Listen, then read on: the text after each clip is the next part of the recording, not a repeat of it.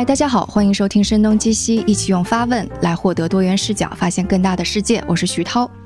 我做过很多年的科技记者，也旁观了一些概念被热炒呀、被追捧、生成泡沫，然后又忽然倒塌这样一个过程。所以今年因为 NFT 一系列的东西出现，元宇宙这个概念被热炒的时候，我还蛮不喜欢这个词语的，因为我会觉得这是一个新的概念，被装进了游戏、虚拟现实、区块链等等，已经就是发展了有很长一段时间的技术。就甚至连元宇宙这个概念它都不新，因为它的出处是《雪崩》这个小说，而《雪崩》这一本小说，它在五年前 VR 大热的时候，也是被投资人、创业者和媒体拿出来反复说的一本小说。所以其实相当于是一看到元宇宙，我就有点好无聊的一种感觉。但前不久我是听到了一档 Planet Money 的一期节目，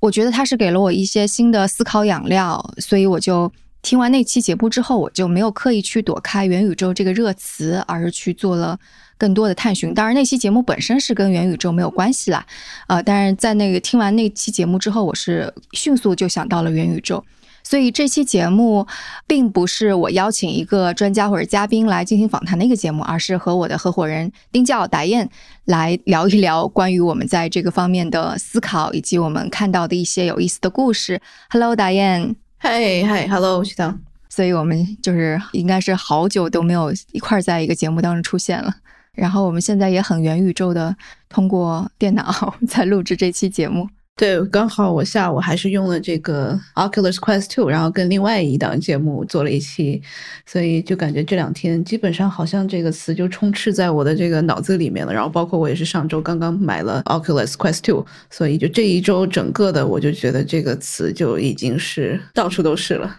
其实我们会说起来这个元宇宙，是因为。Planet Money 的七月份的一期节目，然后这期节目，当然我们肯定是要说这个故事的就 credits，我们是要给到 Planet Money 了。那期节目我觉得是非常有意思的。那个大家如果有可能性的话，也可以去听一下 Planet Money 的这一期节目，它的名字标题就非常有意思，叫做 Video Gaming the System。那 Gaming the System 就有点像是类似于跟系统博弈的这样的感觉。然后 Video Gaming the System 就前面加上一个 Video，就是电子游戏，它同时有了电子游戏的系统，然后同时也有了就是在电子游戏当中来。跟系统博弈的这样一个双关吧，所以它这个故事是发生在那个一个游戏叫做《RuneScape》这款游戏。这款游戏可能很多人中国的听众吧，可能了解的会稍微少一点，但它事实上在全球范围内都是很多玩家在玩，应该是在魔兽世界排名之后的一款游戏吧。但我也不玩游戏，所以我不太知道。你玩过吗？我没有，我大概查了一下，它其实是一个非常老的游戏，大概九八年就存在了。然后后面经过不断的技术啊，还有这个版本的更新，所以后面又改过一次名字。就是当时可能这个计算机还不是特别好的这个时候，其实很多人就在玩了。然后很多人就是因为他还是比较怀念过去的这种沉浸的这个感觉吧，所以就现在还在玩。已经过了这个有多少年了？快三十年了。就像我们怀念 QQ 飞车一样，或者斗地主。嗯，对，而且它因为是就是对电脑的性能也不是特别的高，所以就是很多学生会是课间的时候迅速的跑到图书馆里边拿着老机子玩个半小时，然后跑回去上课。这个可能就是西方国家或者美国国家那个时代的年轻人经常会做的一个事儿。所以这一期节目就是刨去开头他们为了音效呀，然后引人入胜描述的一些在游戏里边战斗的情景。一开始就抛出了一个非常神奇的现象，是说在这样的一个 RuneScape 它这个世界当中，有一批非常奇怪的玩家。这批玩家他也不跟其他人说话，他就默默的在那里打金，去杀龙，然后获得金子。他们就很经常就是完成这些任务之后就不见了，而这些任务对很多玩家而言，恰恰是特别无聊的，简直就是这个游戏当中最无聊的一个部分。因为不断的是重复工作，而有一些有钱的玩家，可能他是会通过花钱躲开这一些无聊的工作。然后，如果有其他的玩家想要跟这些玩家去说话、去聊天，就会发现这些人非但不愿意聊天，而且可能连英语都不会说，有的时候会冒出一些西班牙语。对，所以这期节目就说：哎，为什么在这个游戏当中会有一群这样奇怪的玩家存在？然后，当委内瑞拉发生一次大停电的时候，那个应该是二零一九年的时候吧，所以大家就突然发现，哦，原来这群人在地理位置上是有相同的一个地理位置，他们都是委内瑞拉人。那为什么这群委内瑞拉人他们会突然如此行动一致的跑到这个游戏当中来来打金呢？然后这个故事 就就此展开了，就发现原来这群委内瑞拉人他们的生活是跟这款游戏是结合在一起。因为过去十年委内瑞拉的政治经济都极其之糟糕，通货膨胀非常之大。这群人如果是去做一份正儿八经的工作，可能一个月就赚个几片面包，甚至连就全家人的饭都赚不到。但如果他们去打金的话，这些东西是可以卖给其他玩家，一天就可以赚上大概八美元吧。这个就比在委内瑞拉一个教授的工资或者是一个医生的工资还要高。就等于这样的一个虚拟游戏里面的这个金融体系，其实是要比当地的金融体系要稳定的。对，是。也就是说，相当于是他们就找到了，真的找到了另外一个宇宙，然后在这个宇宙当中有着稳定的金融体系，他们可以去在这样的一个虚拟的宇宙当中去赚钱，然后赚了钱之后返回来拿到现实的他们真实的世界里边，呃，去养家糊口。然后这个概念当时就，这不就是元宇宙吗？对对对，这是第一个让我想到元宇宙这个概念的东西，因为它当中还有一些细节嘛，还有哪些细节是让你想到元宇宙的呢？对，因为我们讲到元宇宙，它其实是分为这个理论，不是我自己 想的，我是这个看硅谷有一个投资人，他叫 Matthew Ball，然后他最早其实也是在像亚马逊啊这样的这些大厂工作过，当时应该是在亚马逊 Studio，然后担任一个他的战略部门的负责人，所以他自己出来之后投资了蛮多的，比如说是在这个虚拟货币领域，然后投资了一些这个 VR、AR，然后这个相关的东西。所以它其实是把元宇宙把它分为成这个九个不同的这个大块儿，然后其中一块儿就是我们刚才讲的，像是这个支付与服务，对吧？然后其实还有一些，就比如说是交易工具和标准，啊，那这两个其实就是我们在想这个金融体系。那其实另外的，我们之前在科技早知道里面我们也讲了好多期了，像是这个虚拟平台、社交。然后包括硬件这一块，它也算是三个不同的这个支柱。然后可能剩下的，比如像是我们 NFT，我们经常聊到的叫做内容、服务与资产这一块。然后剩下的就是这个计算，对，是这几大支柱构建成这种大家现在所谓的这个这个元宇宙。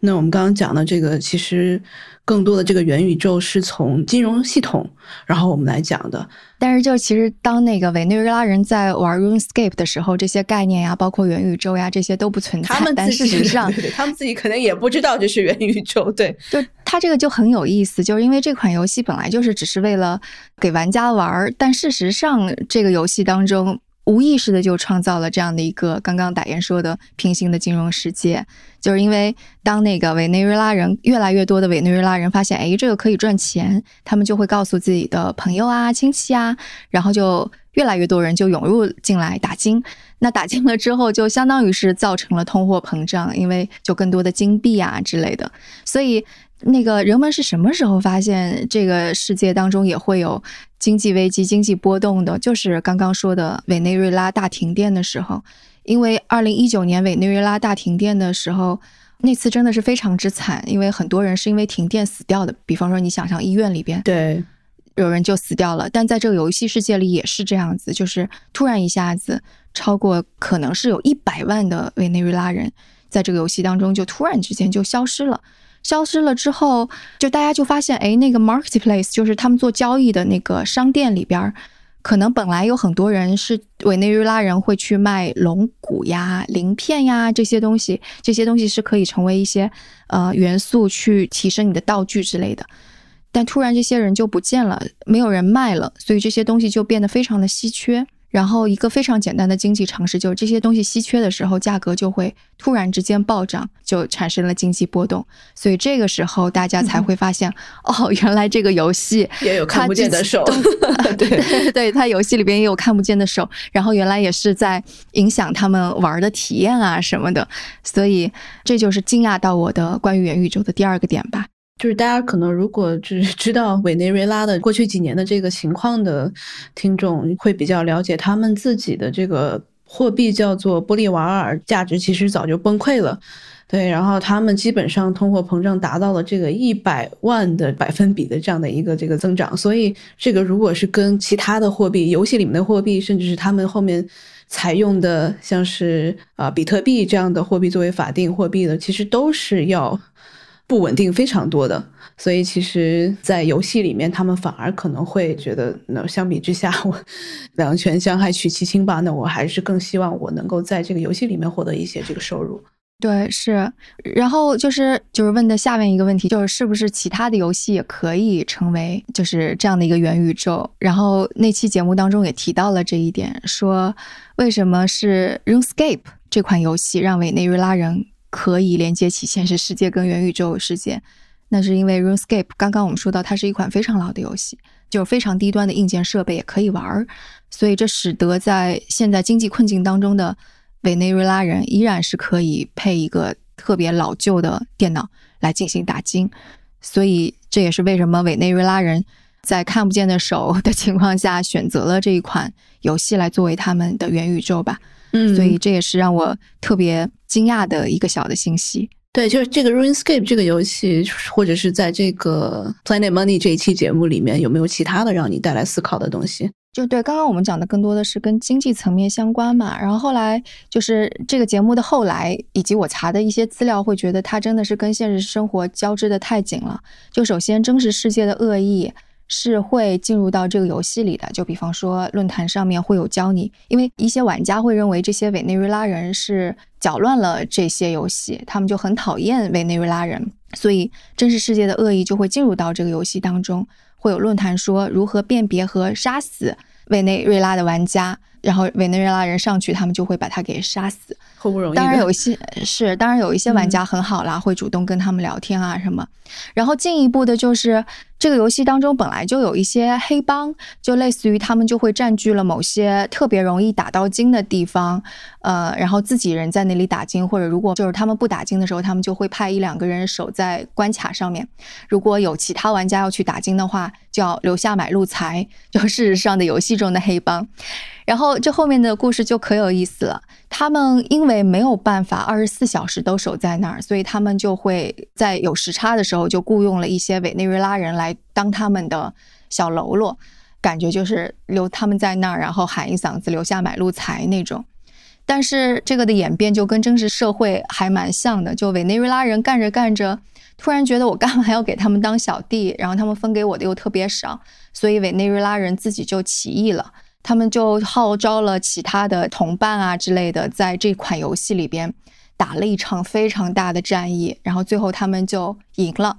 他们就自己成为了那个委内瑞拉黑帮。嗯，对，这个那原来玩的这些人还在玩吗？还在玩吧。但是就这个事情就闹得太大了，这个就相当于是非但那个经济搞乱了，而且就感觉里边就黑帮横行，就其他的玩家可能就很不爽嘛，而且还有可能。你成为黑帮之后，你是不是会影响其他的玩家去打金啊？就其他玩家想要去杀一条龙的时候，你不让，因为你自己要打金，所以就把人家的龙给杀掉了。那别的玩家玩什么？所以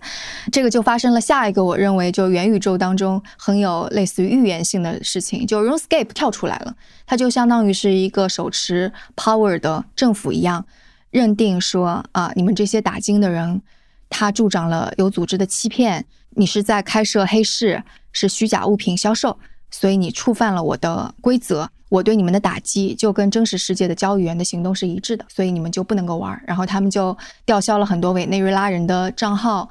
而且还调整了规则吧，就让某些本来可以打进非常容易的地方变得利润没有那么高了。元宇宙当中发生的一场战役。影响到了真实的游戏公司，这个真实的游戏公司扮演了政府的角色，又影响了游戏，使得游戏里边这些人不得不从有元宇宙当中退出，回到他们真实的世界当中。就之前打进的那些人，就又不得不去做一份收入很低的工作，无利可图了。嗯嗯，对。然后就是，当然接下来的故事可能就跟你要讲的那一部分有关系。他们一方面在打着工，另外一方面就去看是不是有另外一个元宇宙，让他们养家糊口吧。就这个故事实在是让我太就想的东西就实在太多了。哎，因为我不是特别玩那种像是魔兽这样的一些游戏，我不知道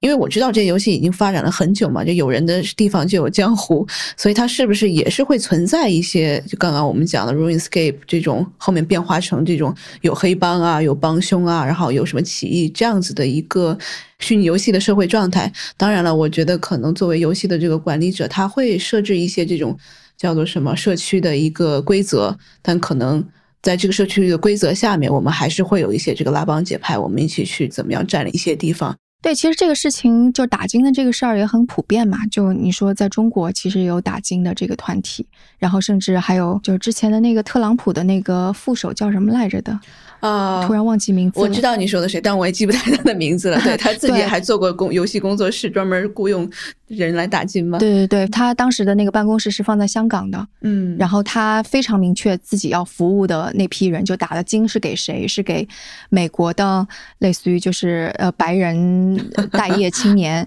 对，用户画像极其之准确，但这又是另外一个故事了。嗯嗯。对，就那其实就跟我们可能是发达国家，然后或者是这种稍微进步一点的国家，那我们一些可能比较这个初级的工作，那可能我们就外包给其他的国家的这些人，然后因为他们的工资时薪低嘛，那可能在这个游戏世界里面其实也是一样的，我们又回到 元宇宙的这个平行的这个世界的这个对比了，就劳动力成本到底哪里更低？嗯嗯，那玩游戏我也是得费好多劲儿，我才能我玩五个小时获得这样的东西，那我的时间是。值多少钱？雇一个人又值多少钱？这样一对比，其实就这样的一个现象。就刚刚说到，其实这个委内瑞拉人是不是去了别的游戏？确实是有的。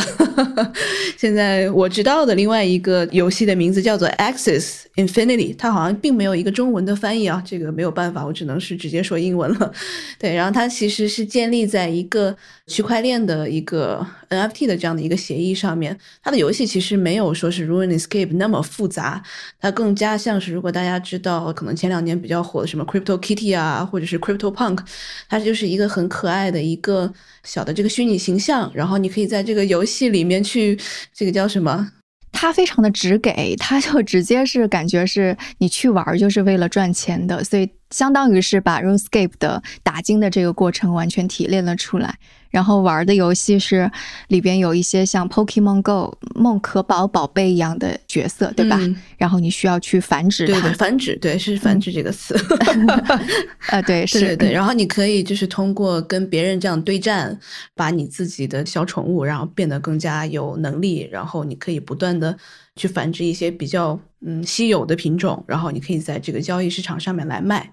所以这个委内瑞拉的有一些人就去了这个游戏里面继续在玩儿。然后这个游戏要算人群分布的话，其实委内瑞拉只占百分之五。它最大的一个市场其实是在菲律宾，大概是占百分之三十。然后剩下大家可以看到，其实就是一些可能发展中国家他们自己的这个法定货币不是特别稳定的，包括像是印度尼西亚。当然，其中也有一些来像美国大概有百分之八，然后巴西大概有百分之四的人在玩儿，对，但主要其实还在菲律宾。菲律宾占到多少呀？三十三十。啊，OK，对对，因为这个游戏其实是在一八一九年，它就应该已经是出来了的。背后的这个公司是一家越南的公司，然后创始人我看他们的背景是，其中有一个他一直是在英国的一些这种交易所和一些区块链的加密货币的公司里面工作，所以他可能做这个游戏也是有这样的一些背景。他们在就去年疫情的时候，其实是获得了非常多的菲律宾的这些玩家。因为我查了一下数据哈，在菲律宾的去年八月份的时候，有大概百分之四十五点五的菲律宾的人其实是处于一个失业状态的。那菲律宾大概是有六千万的这样的一个劳动人口，所以这个数字还是蛮可怕的。到现在稍微可能恢复了一点，占到百分之八点八吧，这个失业人口。所以大部分的人其实是就是。人传人，然后这个肯定是传的非常快。有一个游戏，你可以又玩又赚钱，那为什么不呢？对吧？所以就很，嗯嗯嗯，所以这是一个非常类似的委内瑞拉的故事，就是因为本国赚不到钱，实体经济赚不到钱。因为我看了有一个纪录片嘛，专门是说 Access Infinity 在当地的一个小村子里，它这个村子叫做贾万纳端市，这个村子大概是有三十多万人口吧，然后。基本上开始有几个人在玩的时候，然后后面就是人传人，所有人都在玩。对，为什么呢？因为其实当时失业率比较高，所以大部分玩这个的人，他其实是劳动技能。比较少、比较低的这样的一个人群，就包括纪录片里面其实讲到一对老夫妇，丈夫大概七十多岁了，妻子六十多岁，他们平时就是看着一个便利店的，他们可能一个月本来大概能有个两三百美元，就但是其实疫情过来之后，他其实只能达到这个之前的可能十分之一都不到，所以他们除了可能去玩游戏赚钱之外，他们别无他法。然后包括另外有一个他是。就骑自行车可能拉一些游客的这样的一个人，蛮年轻的，大概是二十来岁出头。后面就是通过朋友介绍说，那我也去玩这个游戏吧。这些人基本上可能能够在玩游戏的一开始的前几周能够赚到三四百美金，所以就比他们一个月的这个收入还要多。所以这对他们来说其实是就特别在疫情的那个时间吧，对他们帮助是非常大的。我觉得用游戏的这个经济系统来这个为自己。现实世界里面的这样的经济的环境来纾困的这样子的越来越多的案例，其实也是在说我们虚拟的元宇宙和我们真实世界的这样的这个经济的这个体系越来越结合的紧密起来了吧？其实这个刚刚您也说到这款游戏委内瑞拉人也在玩嘛，然后我其实有看到一篇报道，就说就委内瑞拉人是怎么看待这些基于 NFT 上的很多很多的游戏。因为其实他们是没有任何抗风险的能力的，对吧？他们也不像很多那种早期的呃比特币玩家一样，就是他们还是需要去挣面包的嘛。但是就说他们会愿意去尝试，就是因为他们别无他法。他们就觉得，就其中有一个人，他是丢掉了自己在石油公司的工作，因为呃委内瑞拉最大的经济产业支柱就是石油，他们的石油资源非常丰富。他丢掉了这份工作之后，他又得了新冠。然后他又觉得我的人生已经没有任何可以失去的了，我现在就只想活下去。既然这个游戏可能可以给我赚到钱，那我为什么不去试试呢？所以就他们就已经是一种，呃，我已经失去任何东西，我就只想去试一试的这种感觉了。所以他试了之后，他还赚到钱了，他就觉得很开心。他在劝说他其他的那个在还依然在石油公司里苦苦挣扎的同事，说也许你们也可以去玩这个东西。而且这个委内瑞拉人后来发展到什么程度呢？因为他意识到，就是现在有无数多的这样小的元宇宙的，就是游戏冒出来，其实都是打金的，所以他就会把所有的全都去尝试一遍，然后看哪个给他赚钱最高。所以，就是他已经是就是无可奈何的拥抱这种状况的一种情况吧。对他可以去都试一下，因为我觉得其实像。我刚刚讲的这个 Access Infinity，它其实一开始的时候也比较便宜，它一个这个小的宠物 Access 大概才一两美刀，因为它需要有三个你才能进入游戏嘛。然后慢慢的，因为玩的人也多了，然后交易这个 Access 的人也多了，所以它的这个每一个宠物它的价值也水涨船高。呃，所以很多新入局的这样的一些玩家，他们可能没有办法来直接。就是一下子购买三只这样的这个宠物来进入游戏来互相来赚钱，所以这个游戏公司我觉得他也是非常的这个聪明，他做了一个项目叫做这个奖学金项目，他在当地其实是招募了非常多的这种像是游戏大使这样的人，然后这个游戏大使其实这个游戏公司会来培训他们，然后给他们一定的这样子的这个小宠物，让他们去加了引号的这种放贷。对他们可以先把这些小宠物先借给这个新加入游戏的人，然后让新加入的游戏的人通过用这个去玩游戏，然后来呃赚取的这样的一些这个利润，然后他们这个新玩游戏的人可以分到百分之七十，然后这个当地的这个组织者这个培训的人，他们可以大概赚到百分之二十，然后可能这个游戏公司本身。当然了，在这一个领域，他们赚到百分之十，所以就出现了这样的一种借贷的一个情况的一个发生。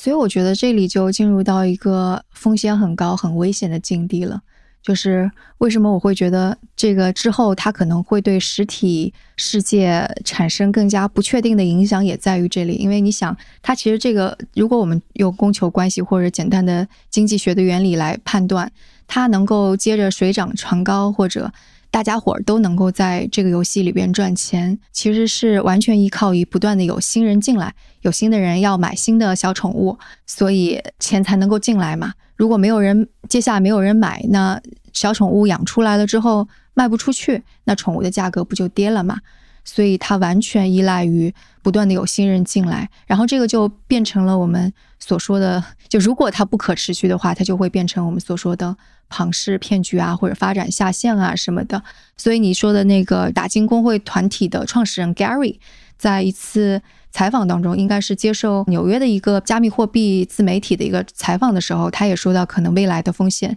在于怎么样才能够有新的人进来，怎么设计更加好玩的机制，使得新的人不仅仅是为了赚钱而进来，而是为了玩游戏进来。但到目前为止，它的不可持续的风险就在于它的游戏可玩性肯定就是没有像 RuneScape。那么强的，因为仅仅就是只是买买宠物、养养宠物，然后把它卖掉这样而已。所以，但是我们接下来，如果我们做一个类似于智力实验或者是思考实验一样的东西，如果这个游戏它崩塌了，就是肯定有一些人血本无归嘛。那对于相当于是五十万的这个菲律宾人或者更多的委内瑞拉人而言，这意味着什么？是他们接着去找下一个游戏，还是会有其他的一些？连锁反应，然后这些国家急切就如果需要经济重振，需要就是更多的人到实体经济当中去，那是不是这个元宇宙跟实体经济 彼此之间也会产生一种竞争？就有点像，就有一个小孩他只想玩游戏，他就不想搬砖了，就这种感觉。其实现在应该是 NFT 可能是最火热的时候吧。当然，很多朋友跟我讲，NFT 可能还得，就如果我们要对比之前的这个 ICO 这样的一个市场爆发的这个时间窗口的话，我们可能还有个四五个月的时间，NFT 可能才会这个泡泡才会稍微破掉一些。对，所以现在不管是可能我们之前知道的，像是 Crypto Kitty，然后或者 Crypto Punk，对各种加密动物，对对对对，然后他们其实是如果是跟 Access Infinity 比的话，他们更没有可玩性了，它就是一个是 几个像素，对吧？包括我其实最近有看了这个 A 十六 Z 投的一个项目，它其实就是一个。可能稍微可玩性更强一点的，大家可以在里面繁殖赛马的，然后他们还可以互相的就去真的是去比赛，然后它这样子其实就是一个可以玩得起来的，大家去这个繁殖自己喜欢的这个马的这个品种，所以它是可能是有一个真实的这个交易的和真实的这样的一个系统在里面的，所以那我觉得就是很多价值来说，它不是客观的，它是非常主观的。你说我不可能去买一个这个。Crypto Kitty 花个这个几十万美金，对吧？因为我不认准这个价值。但是现在可能，如果是还是在这个 bubble 里面的话，那大家觉得 Access Infinity 这样的一些小的宠物，它值这个价值。但是现在确实是有这样的一个市场，但是它泡沫多久会破裂？然后破灭之后，只有它的价值能够稳定在什么样的一个区间？我觉得这个可能是我们需要比较小心的。但是这些啊，但是这些发展中国家的这些人，他们其实现在是别无他法了，对吧？对，而且就是就是你刚刚最开始的时候提出一个就是在虚拟世界当中的这个劳动力的成本的问题，其实，在 RuneScape 当中，它关于劳动力的成本是有供需的嘛？就是你冲着想要玩游戏玩的爽的人，然后花钱买了一些别人的时间来打金，和愿意出卖自己的时间来打金的人，其实构成这样的供需关系。但是我我看那个 Axie 那个 Infinity，其实这种供需关系可能并没有那么明显。就是它其实分成两种玩家，一种玩家就是我要去挣我的面包钱的对的人，和另外一部分想要投机的人，而投机的人是须臾即走的那种。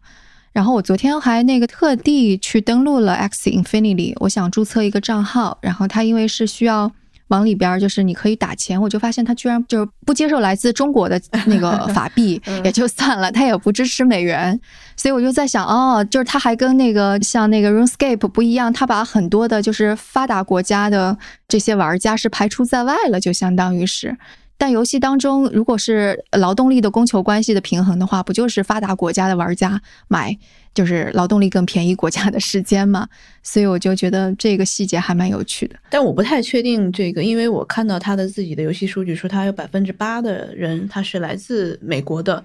呃，然后他可能是需要先装一个钱包，就是像是这个 MetaMask 这样的东西，然后你才能进入这个游戏里面。对对对，它主要的是基于叫做 Running 的这个 Wallet，R O N I N 然后你是可以通过这个直接打钱，但是直接打钱的时候它是不支持美元跟人民币。那可能 MetaMask 是支持的，可能对，然后它对它那个 Mask 是支持的，然后它会支持一个类似于转账，就你可以从那个呃 MetaMask 转虚拟货币到 Running Wallets，然后你就可以绕过不能够法币直接。就我觉得这里边是不是有一些什么监管啊之类的东西？可能美国、中国已经比较严格了。就我也不知道，对，对，所以昨天尝试未果。我是就只是看了一下这个 YouTube 上面的这个视频，但是我查他们这个 S Infinity 后面的背后这个公司啊，他们好像应该也是被 H 六 Z 投资过，然后包括几个，对对对，是，嗯，包括几个很大的一些这个区块链里面的这个基金，其中就会有他们的投资人就会帮他们站台嘛，就会讲，其实。啊，不仅仅他们只是游戏了，他们更加是一个这个社区，他们帮助当地的欠发达的这样的一些社区，就做很多其他的一些的，可能他们赚到了钱了，然后另外他们给你提供了一些这种就是在区块链领域里面的这个教育。当然，我们这个不知道他其实还提供什么样的东西。就基本上这些人他们会很熟练的，比如说是把这个虚拟钱包建立起来，然后怎么样去把它转到 ETC，转到 Ethereum，然后再转到他们自己当地的这样的一个。法定货币的这样的一个系统，所以就整个他们其实是打金系统的这个培训，其实是培训的比较好，所以我就不知道他们会不会是有其他的一些培训，因为他们说是我们支持了当地的这样的一个一个社区，他们的这个发展和甚至是可能会会给他们提供一些像刚刚我们讲的是借贷这样的一个概念。然后我看到 Crunchbase 上面对这个 这个 YGG 的这样的公司，他们自己的一个。一个愿景是创建最大的虚拟世界的经济体，我就觉得这句话说出来之后还是挺大的。我能够理解，因为我昨天看了就是对 YGG 的创始人 Gary 的采访的时候，他自己也做了个比喻。因为最开始就是我们刚刚没有讲的特别详细，这个 Axie Infinity 的它的就是里边的金融系统是怎么样？因为它每一个 Axie 的这个小宠物就是一个 NFT，它就相当于独一无二。YGG 其实是把这个宠物看成是一个资产，然后利用这个资产，当你去打斗的时候，可以产生呃一些积分。然后我自己给它起了个名字，就叫做繁殖币，因为这个 东西是可以拿来繁殖这个。英文名字很可爱，叫做。Smooth，然后 Love Potion，呃，对，SLP，对，对。然后这个他就举了一个比方说，这个小宠物它是资产，然后它所产生的这个繁殖币，它其实就是现金流。对于他们而言，做的生意就是我手握这些资产，然后让它去产生现金流。这个商业模式就跟现在地产呀，或者所有的嗯固定资产的这些生意模式是一样的。就我已经手握了这些。不可复制，然后有着独特特性，而且非常稀缺的资源，如土地。然后我已经手握这些东西了，我是他的所有人。然后我把它租给你们，你们在上面产生现金流反馈给我。然后这个概念是可以移植到各个元宇宙当中去的，因为 NFT 本身它就是有限的嘛，所以他也在那个访谈当中设想了，类似于其他的游戏当中会有土地啊这种东西啊，或者怎样的。那就是，其实我就更进一步的想了一下，因为我就觉得，就是在元宇宙当中会有一些基础设施一样的东西。就当你说他们在教一些人怎么去用这些 wallet 呀、虚拟钱包这些，其实事实上就是在做一些基础设施的教育工作。就只是我现在还没有看到这个基础设施有多么的不可替代，但也许之后，因为我我觉得游戏这个东西还是可替代性太高了，我可以不玩这个游戏，我可以丢掉。但也许在未来，嗯，有一些功能性的东西，它是不可被替代的。我们举一个例子，比方说，你是一个大型的图书馆，你要在这个上面储存所有所有的信息，是不是它就就是信息已经大到一定程度不可被替代了？那你所拥有的每一个信息，它的资产价值就是恒定的，它就不会去波动了。然后你租出这一些信息，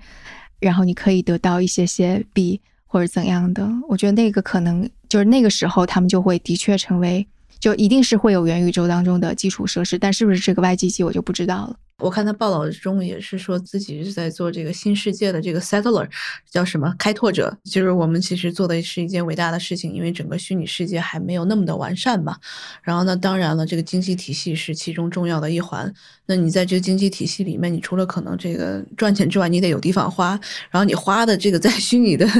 这个世界里面，你需要什么？那我我觉得对于 NFT 或者艺术品来说的话，或者是买一个什么球星卡，对我来说一点意义都没有。对吧？但是如果我可能是每天花个三五个小时，我在这个里面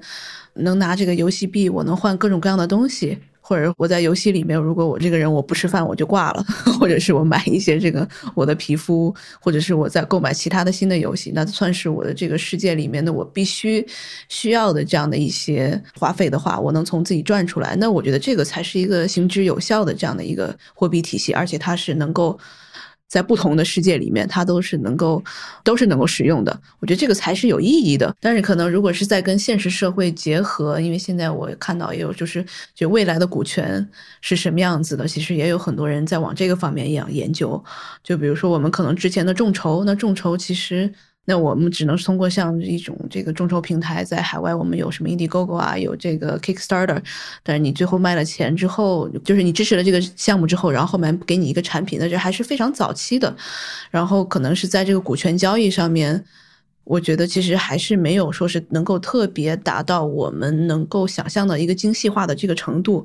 然后现在有一些公司我看到的，比如像是这个 Mirror 这个公司，它其实就是一个作者的一个社区。就我现在可能。作为一个作家来说的话，我需要可能花费八个月、十二个月的时间，我要来这个什么也不干，我就要写这本书。但中间我如果大家都知道，这个作家还是挺贫困潦倒的，你得在这段时间之内，你还得吃饭吧。但如果有的人愿意支持你的话，然后愿意买你这本书的这样的一个。股权的话，他就可以通过 Mirror 这样的平台来做这个事情。但你后面这个书出版了之后，然后你可以时不时的能够分到一些他的版权卖出的这样的一些钱。我觉得他可能就是把这个未来的这个股权变得更加方便了。那它底层的这样的一个新的技术，肯定就是从这个 NFT 和区块链的这个角度来来发展的。对，其实你说的就是这些很多的技术精英、硅谷或者中国的投资人，其实都在畅想这样的未来。希望自己成为其中的看到未来这些人吧。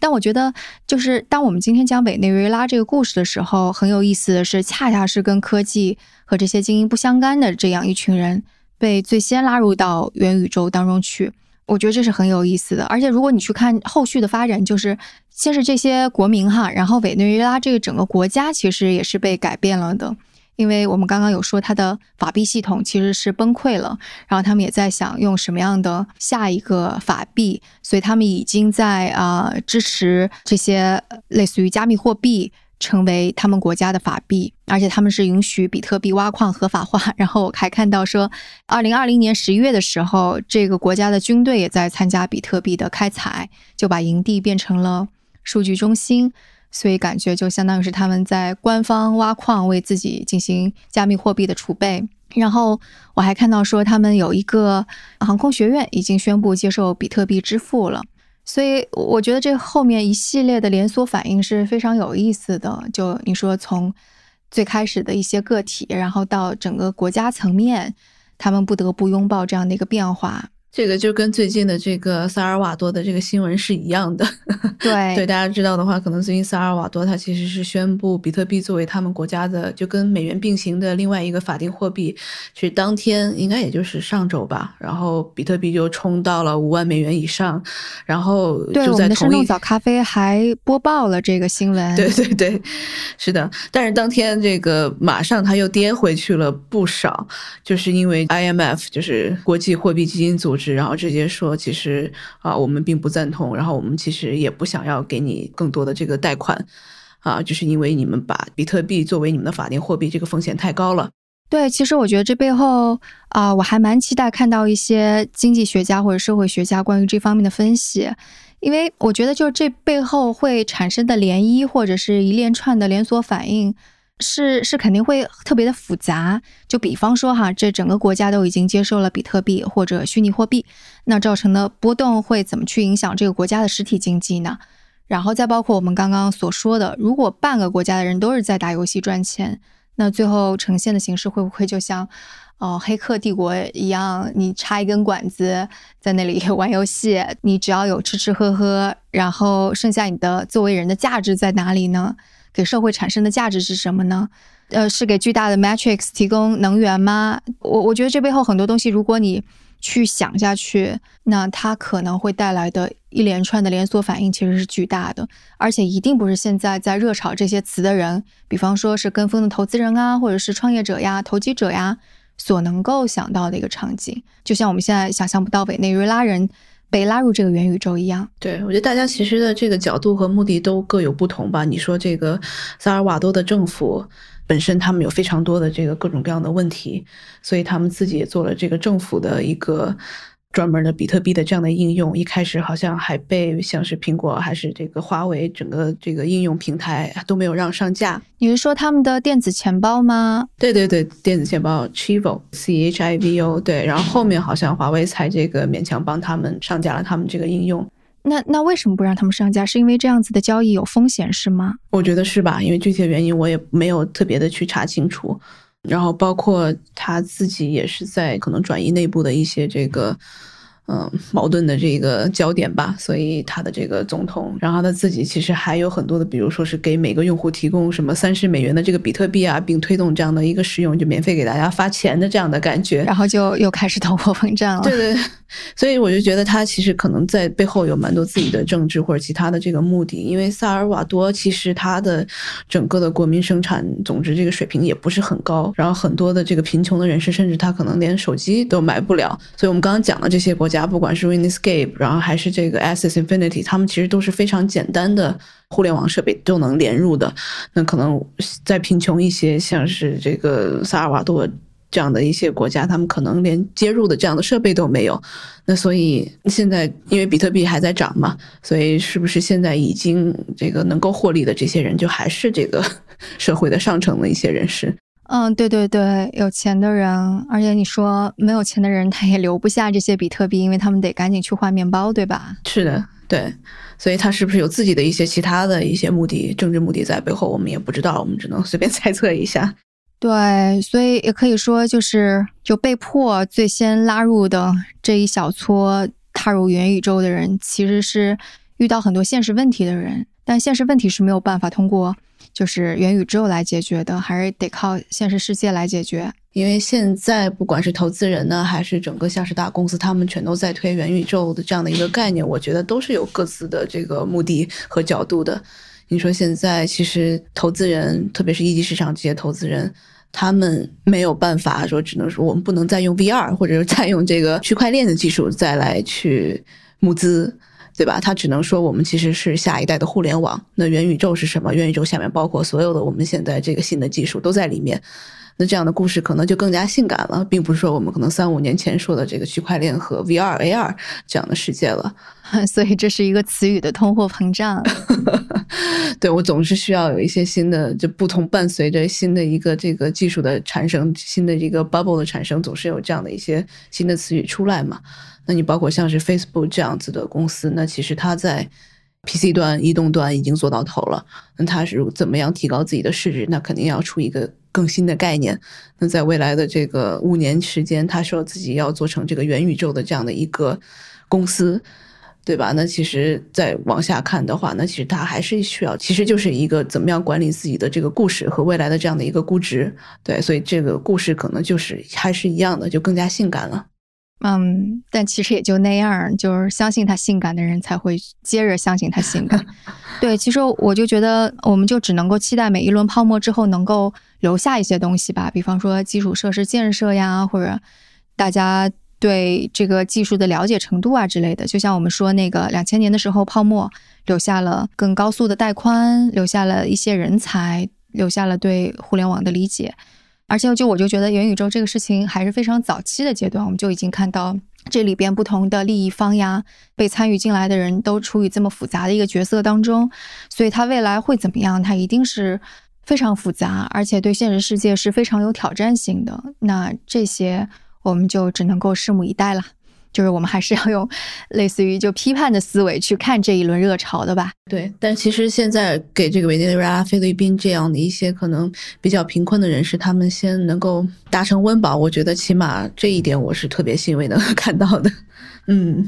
对，然后也希望他们不会被过度的割韭菜吧，因为嗯，希望就是这些泡沫消散的时候，他们的日子还能过得去。这样对，好，那我们今天的节目就到这里。然后大家关于元宇宙的这个话题，或者关于 NFT 啊这些有什么想要讨论的，也欢迎在评论区给我们留言。然后我们也非常鼓励大家探讨，就包括上一期就是我们的那个节目说。影响一亿人的一秒钟又怎么样？我看好多人都还写了，呃，读后感啊、小作文这样的，我觉得还挺有启发的，非常非常的感谢。我就感觉我们聊这些价值就在于不断的要有新的思考涌进来，让我们做更多的思考，对吧？大雁？对对对，我们有了这个新的。技术，我们有了新的观点，然后我们也希望我们能够给大家提供一些不同的这个角度吧。就因为听到了 Planet Money 这一期故事，我自己也是觉得，哇，原来 元宇宙的这个角度还能从这里来看。嗯，对。然后我们也会把 Planet Money 的这一期的链接放在我们的 Show Notes 中。当然，也感谢 Planet Money，因为除了这一期之外，他们其他的制作内容和制作结构呀，很多的制作手法之类的，也给了我们很多的启发。好，那我们就这样，我们下期节目再见，拜拜，拜拜。